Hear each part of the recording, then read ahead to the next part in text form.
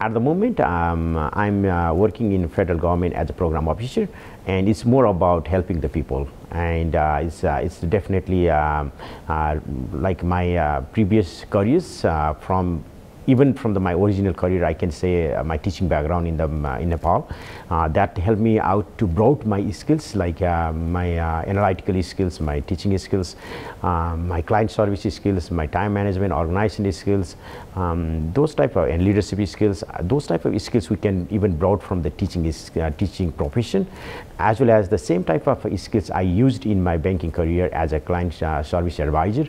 So that helped me out to grab the opportunity as well as uh, my education background uh, not only in, uh, in Nepal but I also studied in, in Canada. That also helped me out to grab the opportunity in the federal government.